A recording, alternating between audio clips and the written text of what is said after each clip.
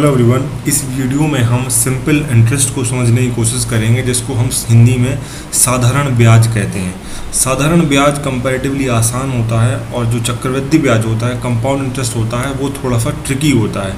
लेकिन simple interest से भी अच्छे सवाल आ जाते हैं तो इसको हमको समझने की कोशिश करना है। सबसे पहले कुछ इंपॉर्टेंट फॉर्मूला समझ लेते हैं और उनके सिंबल क्या होते हैं और आगे हम इनको कैसे उपयोग करेंगे, वो मैं आपको बता देता हूँ। तो इंग्लिश में हम इसको सिंपल इंटरेस्ट कहेंगे और इसको एस आई के से हम रिप्रेजेंट करेंगे।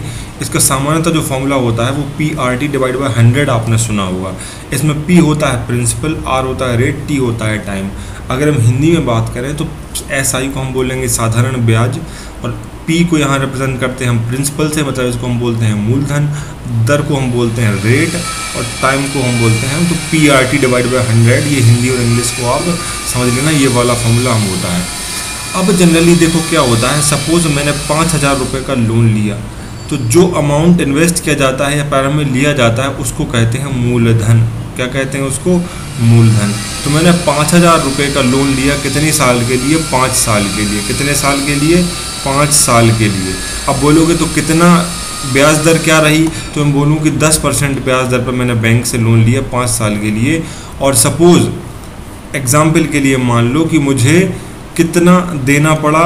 बाद में जो है, मुझे साढ़े सात हज़ार रुपये वापस देने पड़े। कितने देने पड़े? साढ़े सात हज़ार रुपये वापस देने पड़े। तो ये है मेरा मूलधन और ये क्या है? मिश्र धन। अब ये जो मिश्र धन है, जिसको अमाउंट कहते हैं, इसमें क्या क्या चीज़ें जुड़ी हुई हैं? इसमें जुड़ा हुआ है वो मूलधन जो मैंने ब्याज को लिया, जो मैंने ब्याज लिया था और ब्याज जो मैंने चुकाया है पाँच साल में। तो जो मिश्र धन है, जिसको हम अमाउंट कहते हैं, इसमें दो चीज़ें शामिल होती हैं। कभी मिश्र धन दिया हुआ है या अमाउंट दिया हुआ है आपको तो उसमें दो चीज़ें शामिल होती हैं। पहला होता है मूलधन मतलब प्रिंसिपल भी उसमें जुड़ा हुआ है, और इंटरेस्ट उसमें जोड़ दिया गया है 200 तो यहाँ पे मैं पूछूँ कि ब्याज निकालो कितना है? तो जब मिश्रधन साढ़े सात हज़ार रुपये है, मूलधन पाँच हज़ार रुपये तो ब्याज कितना आया? ब्याज आ गया भैया ढाई हज़ार रुपये इन चीज़ों को एग्जैक्टली हमको क्लियर समझना चाहिए और उनमें कन्फ्यूज़ नहीं होना है बिल्कुल भी कि जो अमाउंट आप लेते हो लोन पर वो मूलधन है। इस पर आपको पाँच साल का, आप पाँच साल के लिए लेते हो, ये टी है। आर है दस परसेंट, जिस पर ब्याज लिया जा रहा है, और पाँच साल बाद हर साल दस परसेंट दस परसेंट दस परसेंट दोगे तो पाँच हज़ार का दस परसेंट कितना होता है? पाँच सौ रुपये तो एक साल में पाँच सौ रुपये लग रहा है ब्याज तो पाँच साल में लगेगा पच्चीस सौ। तो पच्चीस सौ रुपये इस पर ब्याज लग गया, टोटल कितना हो गया? पचहत्तर सौ रुपये ये है साढ़े सात हज़ार रुपये मिश्र धन। तो इसमें ब्याज भी जुड़ा हुआ है ढाई हज़ार का और मूलधन है पाँच हज़ार रुपये तो आप ये बताओ मुझे कि जब आप लोन लेते हो तो क्या कभी मूलधन चेंज होता है क्या? नहीं। मूलधन पाँच हज़ार ही रहेगा पहले भी और बाद में भी। तो बाद में चेंज क्या होता है? वो ब्याज ऐड हो जाता है मूलधन में जितने समय के लिए आप लोन लेते हो, वो जिस रेट पर भी लेते हो। तो यहाँ पर वो जब ब्याज जोड़ देते हो तो उसको मिश्र धन कहते हैं। तो यही यहाँ पर लिखा हुआ है कि देखो साधारण मिश्र धन इक्वल टू मूलधन, जिसको हम कहते हैं पी और इंटरेस्ट ब्याज जितना आपने लिया है पहले। बात समझ आई आपको? और साधारण ब्याज मान लो निकालना है आपको, तब क्या कर दोगे? मिश्र धन में से मूलधन को माइनस कर दोगे। साढ़े सात हज़ार में से पाँच हज़ार माइनस कर दोगे तो क्या आ जाएगा? ब्याज आ जाएगा। तो ब्याज निकालने का ये फॉर्मूला हो गया। तो ये एग्जैक्टली क्लियर रहना चाहिए। कन्फ्यूज़ नहीं होना है कि मूलधन क्या होता है, मिश्र धन क्या होता है अमाउंट क्या होता है प्रिंसिपल क्या होता है रेट क्या है टाइम क्या है। ये एग्जैक्टली हमको क्लियर रखना है। अब देखो, हमने आपको सिंपल इंटरेस्ट का फॉर्मूला क्या बताया? P R T divide by hundred को आपको याद रखना है। तो यहाँ से जब हम साधारण मिश्रधन सपोज़ हमको निकालना है तो हमने क्या लिखा था? पी प्लस आई पी क्या है? मूलधन आई क्या है? ब्याज। लेकिन हमको पता है कि आई का फॉर्मूला हमने क्या रखा था? एस आई का फॉर्मूला क्या रखा था? P R T divide by hundred तो इसको इस फॉर्म में भी लिखा जा सकता है अमाउंट को, जहाँ पर हम ए इक्वल टू क्या कर देंगे? पी कॉमन ले लेंगे तो बचा के अंदर one plus R T divide by hundred तो इस तरीके से अमाउंट को भी लिखा जा सकता है। तो ये फॉर्मूला हम कैलकुलेट करने के लिए भी उपयोग कर लेते हैं। तो आपको ये चीज़ें बिल्कुल बेसिक्स जो है वो समझ में आ जाना चाहिए। जो सामान्य ब्याज निकालना होता है वो बहुत बहुत आसान होता है। और इसको जनरली फॉर्मूले की भी ज़रूरत नहीं जैसे मैंने आपको अभी बताया कि आपने पाँच हज़ार रुपये का लोन लिया। पाँच हज़ार रुपये का लोन लिया तो मैंने बोला कि पाँच साल के लिया तो ये क्या हो गया? अपना टी हो गया। और जो ब्याज दर है, वो है दस परसेंट। ये हो गया आपका आर तो यहाँ पर जो साधारण ब्याज होता है वो हर साल बराबर रहता है। साधारण ब्याज चक्रवृद्धि ब्याज में यही अंतर है कि साधारण ब्याज जो है वो बिल्कुल फिक्स रहता है, इसको फ्लैट रेट कहते हैं। अगर आप बैंक में लोन लेने जाओगे तो वो भी बोलता है कि बैंक लोन मिलता है छः परसेंट फ्लैट रेट पे। मतलब जब तक आप लोन चुकाओगे सेम अमाउंट ऑफ़ ब्याज आपको हर किस्त पे देना पड़ेगा। तो सपोज़ जैसे कि ये पाँच हज़ार का बोल दिया कि दस परसेंट ब्याज लगेगा कितनी साल के लिए? पाँच साल के लिए। और ये ब्याज देना पड़ता है आपको ईयरली वार्षिक रूप से देना पड़ता है, ये आपको अच्छे से याद रखना है। ये क्या होता है? ईयरली होता है। अब इसको मैं सीधा निकाल बिना कैलकुलेट किया तो कैसा लिखना पड़ेगा? सबसे पहले निकाल लो कि पाँच हज़ार का दस परसेंट क्या होता है तो वो कितना होता है? पाँच सौ रुपये प्रति वर्ष।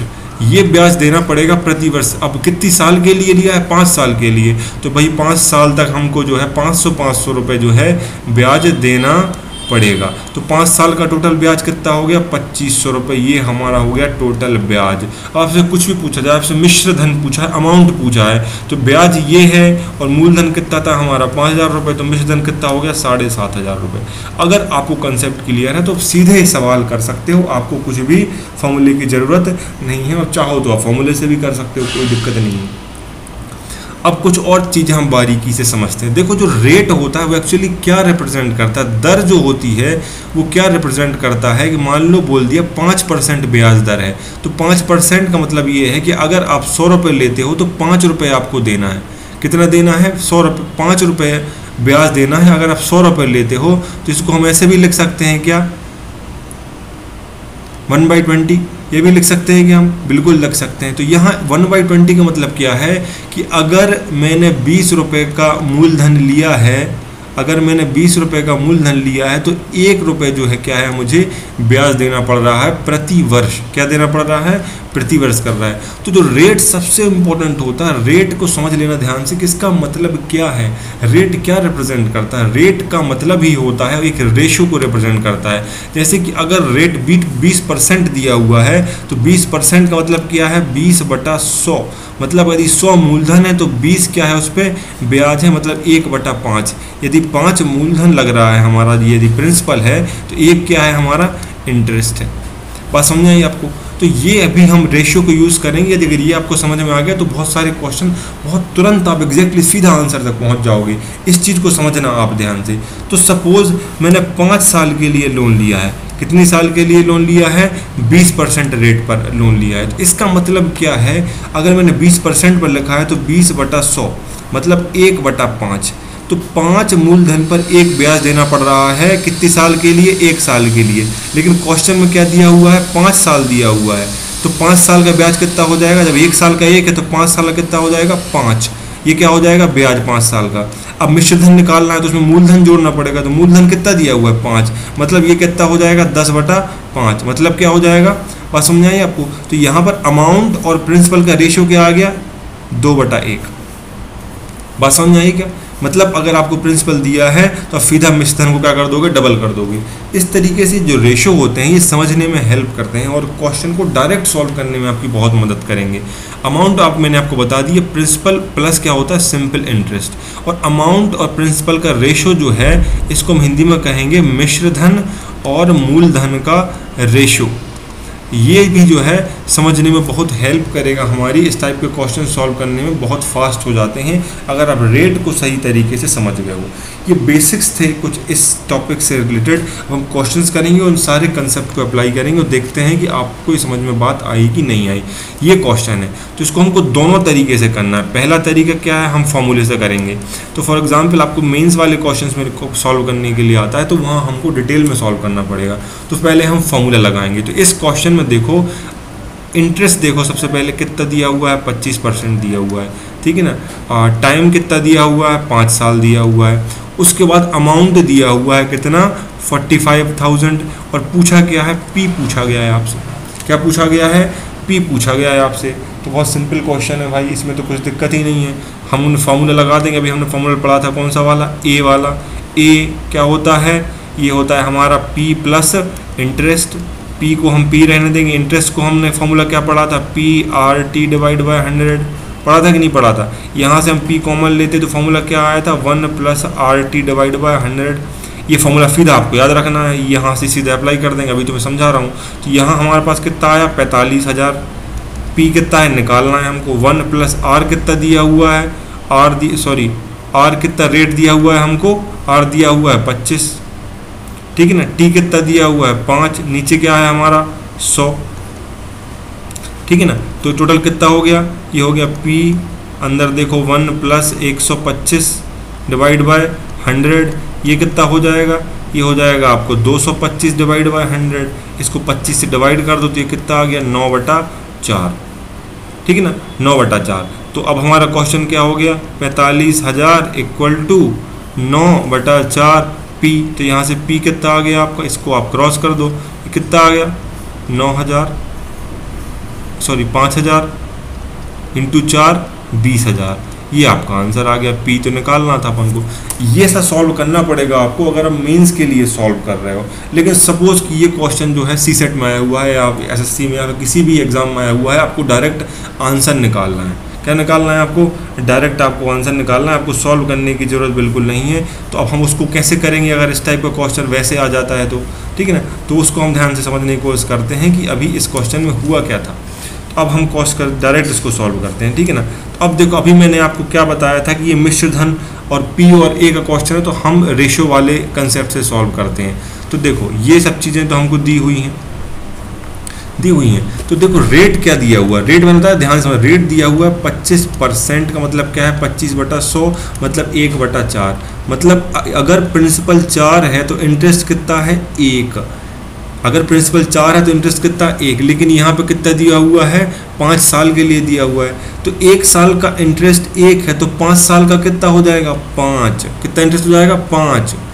और नीचे तो चार दिया ही हुआ है प्रिंसिपल हमको। लेकिन अब ये ये आया है आपका इंटरेस्ट तो मैं बोलूँ आपको कि आपको अमाउंट निकालना है तो अमाउंट कितना हो जाएगा? इंटरेस्ट प्लस प्रिंसिपल तो पाँच प्लस चार इक्वल टू क्या हो जाएगा? नौ प्रिंसिपल रहेगा, चार ही, नौ बटा चार आ गया। ये है अमाउंट और प्रिंसिपल का रेशो ये नौ बटा चार आ गया। अमाउंट आपको दिया हुआ है कितना? पैंतालीस हज़ार। और इसको डिवाइड कर दो नौ बटा चार पी अगर आपको याद हो तो यही फॉर्मूला सेम आंसर हमारा इसके पहले में आया था जब हमने फॉर्मूला लगाया था। ये याद है ना आपको? 125 प्लस वन तो ये 225 बटा सौ हो गया था। उसको डिवाइड किया तो नौ बटा चार ही आया था। यहाँ भी देखो फिर तो नौ बटे चार तक हम आ चुके हैं। नौ बटे चार तक ये समझ आया नौ बटे चार कैसे आया? क्योंकि देखो, ये हमने आया था एक बटे चार, पच्चीस परसेंट मतलब एक बटे चार। इसमें चार क्या है? मूलधन एक क्या है? ब्याज। ये एक साल का है। क्वेश्चन में दिया है पाँच साल का। जब एक साल का एक है तो पाँच साल का कितना हो जाएगा? पाँच। ब्याज। पाँच ब्याज इंटरेस्ट कितना हो गया? पाँच। लेकिन मिश्र धन निकालना तो मिश्र धन क्या होता है? मूलधन प्लस ब्याज। तो ये नौ है। नहीं, चार तो चार ही रहेगा। मूलधन तो अभी चेंज होता नहीं है। तो नौ बटा चार, और यहाँ क्या था? ए बटा P. Amount divide by principal amount हमको दिया हुआ प्रिंसिपल निकालना सेम आंसर आएगा। बस ये इससे आप डायरेक्ट कर सकते हो, ये फॉर्मूले से करना है तो आपको इस तरीके से आपको करना पड़ेगा। दूसरा क्वेश्चन देखते हैं। इसको भी आपको जो है सीधा करके देखिए या फॉर्मूला लगा के। यहाँ पूछा गया है आपको मूलधन पूछा है पी ही पूछा हुआ है, और आपको जो है मूलधन निकालना है। तो क्वेश्चन लगाएँगे हम सीधा सीधा फॉर्मूला लगाएँगे अपना। लगा हुआ फॉर्मूला क्या था क्वेश्चन क्वेश्चन क्या था? तो हम हमको जो फॉर्मूला पता है, हमको पता है कि सिंपल इंटरेस्ट वगैरह और होता है P R T divide by hundred P हमको निकालना है तो पी इक्वल टू हम क्या लिख सकते हैं? S I into hundred divide by R T S I हमको सिंपल इंटरेस्ट दिया हुआ है क्या? सिंपल स्टेट हम तो दिया हुआ है, आठ दशमलव तीन तीन परसेंट दिया हुआ है। ये सही किया ना हमने? क्या निकालना है हमको? प्रिंसिपली तो निकालना है। प्रिंसिपली तो निकालना है हमको। तो सिंपल इंटरेस्ट जो है, वो दिया हुआ है हमको। सिंपल इंटरेस्ट कितना दिया हुआ है? सिंपल इंटरेस्ट हमको दिया हुआ है सिंपल इंटरेस्ट ब्याज कितना दिया हुआ है? पंद्रह सौ रुपये दिया हुआ है सॉरी पंद्रह सौ रुपये दिया हुआ है, ये हो गया सौ। नीचे आर आर की वैल्यू कितनी दी हुई है? रेट क्या दी हुई है? आठ दशमलव तीन तीन परसेंट। इनटू टाइम क्या दिया हुआ है पाँच साल। अब देखो कुछ बेसिक्स आपको पता होने चाहिए। ये मैंने पिछली क्लास में भी बताया था कि कुछ रेशो वाली चीज़ें आप याद रखना। जो आठ दशमलव तीन तीन होता है, आठ दशमलव तीन तीन परसेंट होता है, इसको जो है डिवाइड बाय सौ का मतलब पता है क्या होता है? इसका मतलब होता है एक बटे बारह। एक बटे बारह को हम इस तरीके से लिखते हैं। तो अगर आपको ये मालूम है तो कैलकुलेशन आसान हो जाएगा। अगर आप ऐसे करोगे तो थोड़ा सा मुश्किल हो जाएगा कैलकुलेशन ना। तो अब हमको क्या निकालना है? पी निकालना है। तो पंद्रह सौ इंटू हंड्रेड नीचे हो गया आपका एक बटे बारह मतलब बारह ऊपर चला गया। इंटू पाँच, इसको आप सॉल्व कर लो आगे। कितना हो गया? ये हो गया आपका तीन सौ। ठीक है ना? तो ये मल्टीप्लाई करके कितना हो गया? बारह थी छत्तीस छत्तीस हज़ार रुपये आपका आंसर आ गया। तो ये सिंपल क्वेश्चन है जो आपको सीधे सीधे फॉर्मूले से हो जाएँगे। बस सही लगाते जाना। अब एट पॉइंट थ्री थ्री रखोगे तो कैलकुलेशन मुश्किल हो जाएगा थोड़ा सा ठीक है ना? तो ये बेसिक्स पता होना चाहिए। जैसे एक बटे बारह को हम एट पॉइंट थ्री थ्री लिखते हैं तो एक बटे बारह मैंने किया तो सीधा आंसर छत्तीस हज़ार, सीधा आपका आंसर होगा। तो इस तरीके से जो है आप मूलधन इन क्वेश्चन का निकाल सकते हो। ये फॉर्मूला आप दो तीन अच्छे से याद रखना। एक तो ए प्रिंसिपल का फॉर्मूला दूसरा एस आई का फार्मूला सिंपल इंटरेस्ट बहुत आसान होता है क्योंकि ये फिक्स होता है हर महीने, हर साल। हर साल आप उसको जोड़ते जाओ तो आगे समय के लिए वो बढ़ता जाता है। जो दूसरे टाइप के क्वेश्चंस होते हैं, उनको भी थोड़ा हम समझ लेते हैं। इस टाइप के क्वेश्चन जो है, ये गुना वाले क्वेश्चन कहलाते हैं। ये क्वेश्चंस भी आ जाते हैं। अब देखो, कुछ गुना वालों का जो बेसिक समझ लो पहले आपकी मैंने आपको क्या बताया था कि ए बराबर क्या होता है? पी कॉमन लिया था हमने आर टी बाई हंड्रेड ये पढ़ा था हमने। पढ़ा था कि नहीं पढ़ा था? अब प्रिंसिपल जो आपने पहले लोन लिया हुआ है क्वेश्चन कह रहा है कुछ सालों बाद एक्स वाई जेड रेट से ये गुना हो जाता है। मान लो दस गुना हो जाता है, बीस या पचास गुना तो हम कहते हैं कि एन पी हो जाता है एन गुना हो जाता है। हुआ कि नहीं? कोई प्रिंसिपल अमाउंट है, आपने 20 साल के लिए लोन लिया, मान लो 15 परसेंट रेट पर तो वो 15 गुना हो जाता है। तो पी कितना गुना हो रहा है? एन पी गुना हो रहा है। ठीक है ना? सिंपल फॉर्म में बेसिक रख रहा है। तो ये एन पी किसको रिप्रेजेंट कर रहा है बाद में? ए को रिप्रेजेंट कर रहा है, ये पी को रिप्रेजेंट कर रहा है। कई बार गुना हो गया फाइनल अमाउंट क्या होता है? ए कहलाता है जब उसमें ब्याज जोड़ देते हैं। तो ए को हम क्या रख सकते हैं? एन पी लिख सकते हैं क्या? बिल्कुल लिख सकते हैं। तो यहाँ से देखो, थोड़ी समझना आप बात को कि फॉर्मूला कि नया फॉर्मूला क्या निकल के आ रहा है? नया फॉर्मूला ये निकल के आ रहा है कि ये हो गया आपका, क्या हो गया आपको? ये हो गया आपका p कॉमन ले लो आप तो n माइनस वन पी हो गया equal to one plus R T divide by hundred बात समझ आई आपको? ये जो है, ये सम, बहुत महत्वपूर्ण हो जाता है चीज़ों को समझना यहाँ पर कि ये क्या हो रहा था? ये one divide by R T by hundred हो जाता है तो यहाँ p जो है, ये n माइनस वन गुना हम यहाँ रखेंगे और फॉर्मूले में रखेंगे तो सीधा हमारा आंसर आएगा। इस चीज़ को जो है बहुत ध्यान से रख, समझना आप कि ये जो है, इस तरीके के क्वेश्चंस भी हमको करना है और यहाँ पर ही हमको सॉल्व करना है। इसको हम थोड़ा सा और आसान कर लेते हैं अपने फॉर्मूला समझाने के लिए। इसको हम आसान कैसे कर सकते हैं? अगर हम इसको थोड़ा सा और आसान करने की कोशिश करें तो हम इसको देखो, ऐसा भी लिख सकते हैं। अभी हम एन पी बराबर क्या लिख रहे थे? P plus P R T divide by hundred यही तो लिखा था हमने यहाँ पर इसका मतलब क्या था? यही तो था। तो इसको हम ऐसा भी लिख सकते हैं N P minus P equal to P R T divide by hundred लिख सकते हैं। हाँ यहाँ से पी कॉमन ले लिया हमने। N minus one equal to P R T divide by hundred हुआ कि नहीं? तो पी से पी कैंसिल हो गया। अब हमारा जो फॉर्म जो हमको फॉर्मूला यूज़ करना है यहाँ पर, जिससे सीधा आंसर आएगा, वो आएगा आपका ये। ये हमको बहुत अच्छे से याद रखना है। सारे गुना वाले जो क्वेश्चंस होंगे, इस तरी, इस प्रकार से आपके सॉल्व हो जाएँगे। ये हमको अच्छे से याद रखना है। ये मैंने निकाल के बताया, अब आपको निकालने की ज़रूरत नहीं, समझाने के लिए बताया है। अब ये फॉर्मूले को हम सीधे के सीधे उपयोग करेंगे और सीधा का सीधा जो है, आपका आंसर जो है, इससे ही आ जाएगा। अगर आपको ये बेसिक्स पता है तो ये क्वेश्चन सीधे के सीधे हो जाएँगे। अब देखो ध्यान से। अब ये क्वेश्चन फटाफट हो जाएगा, बिल्कुल दिक्कत की बात नहीं है। लग मुश्किल रहा है।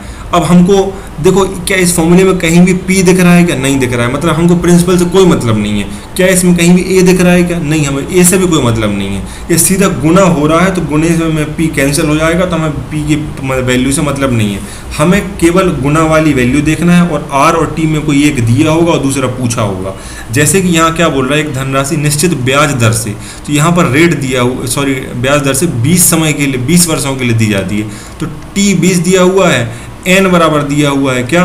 सिक्स आपसे पूछा क्या है? आपसे आई पूछा है। आप सॉरी आपसे आर पूछा है। रेट पूछी है, ब्याज दर पूछा है। रेट निकालना है अपन को।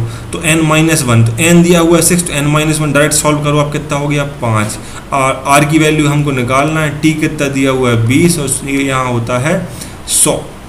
बात समझ आई क्या आपको? तो ये आप काट दो आप। ये चार बार कट गया।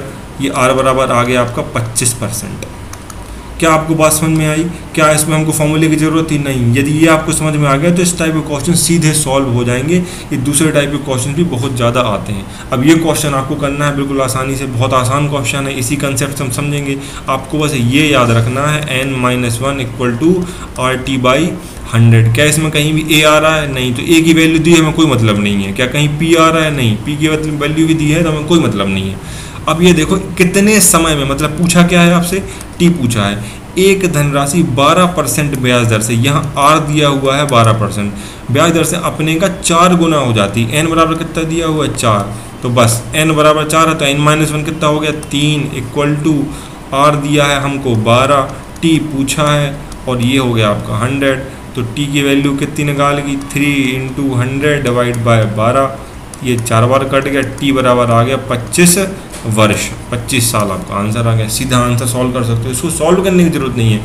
आप थोड़ी सी प्रैक्टिस से आप सीधे के सीधे आंसर लिख सकते हो और थ्री मार्कर में आएगा तो आप पे बन जाएगा सीधा। फिर एक और नेक्स्ट नेक्स्ट क्वेश्चन ट्राई करके देख लो, इस टाइप के क्वेश्चन भी आसानी से बन जाते हैं। एक धनराशि पाँच वर्षों में पाँच गुना हो जाती है। तो टी दिया हुआ है कितना? पाँच साल। टी और कितने गुना हो जाती है? एन बराबर हो जाती है पाँच साल। इसी धनराशि को सेम अमाउंट को स्वयं का नौ गुना होने में एन बराबर नौ होने में टी बराबर कितना समय लगेगा? तो ये क्वेश्चन ही बहुत आ, आ, आसान हो गया हमारा। तो हमको एन दिया हुआ है एन माइनस वन निकाल लेंगे। बात समझ में आए आपको? क्योंकि यहाँ पर रिलेशन क्या आ रहा है? देखो N minus one equal to R T divide by hundred आपसे एन एन माइनस वन आप निकाल ही लोगे यहाँ आसानी से। तो जो जो वैल्यू आएगी उस वैल्यू का और टी का क्या रिलेशन है? एक्स दिया नहीं तो आर हो गया कॉन्स्टेंट तो वो जो वैल्यू है हमारा एन माइनस वन है, इस डायरेक्टली प्रोपोर्शनल टू क्या हो गया हमारा? टी मतलब सीधा सीधा रिश्ता है। तो पहले तो एन माइनस वन निकाल लेंगे तो एन माइनस वन कितना आ गया? चार, यहाँ एन माइनस वन कितना आ गया? आठ। तो देखो, जब एन माइनस वन चार है तो यहाँ आठ हो रहा है तो यहाँ पाँच है तो यहाँ कितना हो जाएगा? दस हो जाएगा। बस सीधी सीधी बात है, कितना समय लगेगा? दस साल। बस आपका आंसर आ गया। इस तरीके से आप इस प्रकार के क्वेश्चंस कर सकते हो। सिंपल इंटरेस्ट कंपेरेटिवली बहुत आसान होता है। आपको सीधे सीधे फॉर्मूले लगाने आने चाहिए। ध्यान रखना, कई बार फॉर्मूले की भी ज़रूरत नहीं होती है साधारण ब्याज में, क्योंकि मैंने आपको बताया कि हर साल साधारण ब्याज जो होता है, ये कांस्टेंट होता है फिक्स होता है। वो वाला एग्ज़ाम्पल जो मैंने आपको बताया, बिल्कुल अच्छे से ध्यान रखना कि सपोज़ आपने एक हज़ार रुपये का लोन लिया है पाँच साल के लिए और ब्याज दर सपोज़ दस परसेंट है तो आप दस परसेंट इसका एक हज़ार का कितना होगा? सौ। तो ये सौ है प्रति वर्ष का ब्याज है प्रति वर्ष का इंटरेस्ट है, आपका प्रति वर्ष का ब्याज है। जितने भी साल के लिए होगा, उसमें जोड़ते जाओ, चाहे पाँच साल हो, चाहे दस साल हो, चाहे बीस साल हो, एक साल का सौ है तो पाँच साल का हो गया पाँच सौ, ये हो गया ब्याज। कुल अमाउंट था एक हज़ार, इन दोनों को जोड़ दो तो आपका अमाउंट आ गया एक हज़ार प्लस पाँच सौ इक्वल टू पंद्रह सौ। ये बात आप ध्यान रखना, इस तरीके से बेसिक इंटरेस्ट जो है बहुत आसान है, बस कंसेप्ट अपना क्लियर रखना। इस प्रकार के क्वेश्चन जो है, दो टाइप दो तीन टाइप के क्वेश्चन जो मैंने आपको बताया ये आते हैं। फॉर्मूला अच्छे से याद रखना। आपके क्वेश्चन गलत नहीं होंगे थ्री मार्कर फाइव मार्कर के दोनों टाइप के क्वेश्चन आप पर बन जाएँगे। तो अगर आपको वीडियो हेल्पफुल रहा हो तो सब्सक्राइब ज़रूर करें। Thank you so much for watching and all the best for exams